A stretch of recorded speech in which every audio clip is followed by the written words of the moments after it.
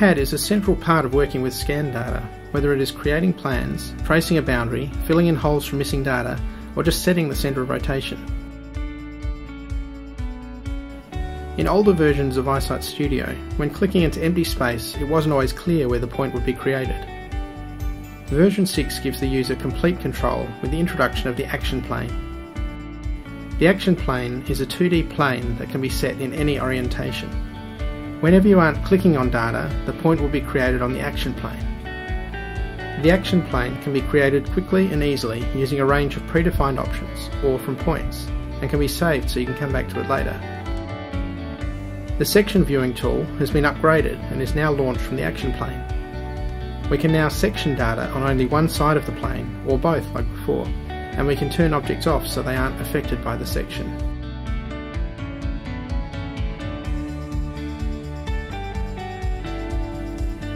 We have also introduced a new range of snap tools that enable you to quickly and easily create 2D plans from even complex shapes and structures. The snap tools can be turned on and off easily and even temporarily disabled with a hotkey while digitising.